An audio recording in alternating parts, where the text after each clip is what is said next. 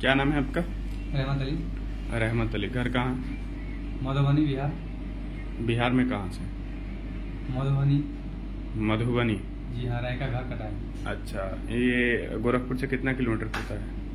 गोरखपुर से हमको ध्यान नहीं था लेकिन आने में हमको बारह घंटा लग जाता है। बारह घंटा? हाँ एक दिन पूरा हाँ। लग जाता है। ये आप कब आए थे आप हमारे ऑफ़िस पे? ऑफ़िस से हम अट्ठाईस तारीख और कैसे मालूम चला था ये ऑफ़िस के बारे में चौबीस के बारे में हाँ ये मेरा साला रहते है? हाँ हाँ तो उन्होंने फेसबुक पे देखा और उन्होंने कहा कि जो है गोरखपुर में सदाम भाई की ऑफ़िस है हम्म। वहाँ पे अच्छे अच्छे काम आता है वहाँ पे जो अच्छे लोग हैं हम्म। वो काम कर देंगे वो लोग ठगने वाले नहीं अर्जेंट के थ्रू पड़ेगा आपको पैसे ठग लेगा भेजेंगे भी नहीं हम्म, तो बम्बे से मुझे एड्रेस बताया और मैं यहाँ तक पहुँचा उस टाइम में आपके जो पहले वाली घर है। इसी जगह पे हम पहुँचे हुए थे तो हम इंटरव्यू भी दिए। हम्म, लेकिन हम उस समय जा नहीं पाए।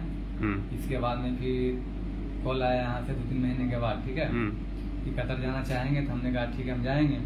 हम्म, इसके बाद में जो है कैलान से बात हुआ मतलब फ़ोन पे इसी भी सिलेक्शन हुआ। हम्म, उनसे मेरी बात हुई तो मैंने बताया काम के बारे में जो नॉलेज था मैंने बताया। इसके बाद में जो तीन तीन या चार दिन के अंदर फिर वीज़ा दिया।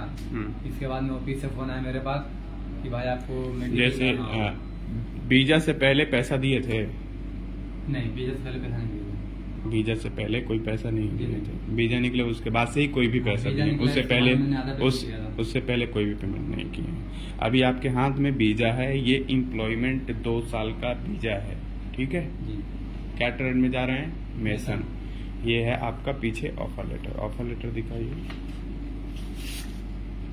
सरकार ट्रेडिंग कंपनी में आप जा रहे हैं।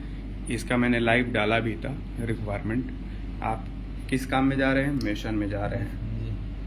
और रहमत अली नाम है। सैलरी कितना है? आपका एक हज़ार सैलरी है प्लस तीन सौ है। ठीक है? और ड्यूटी कितना है? ड्यूटी आपका दस घंटा है। ठीक है? ये सारी चीज़ें आपको बताई गई हैं।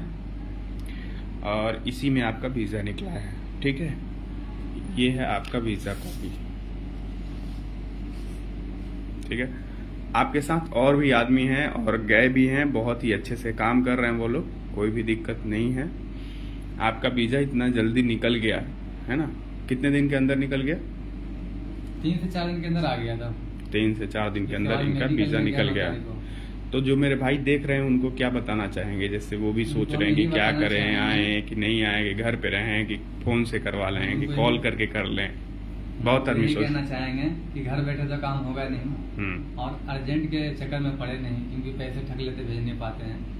जितने भाई ऑनलाइन है देखना देख रहे हैं उनसे हम यही कहेंगे कि सदा माई के ऑफ़िस में आवे गोरखपुर देवरिया रोड यहाँ से काम करा ले बेहतर काम होता है अगर लेट भी हो या सेट भी हो इसी जगह से कराए।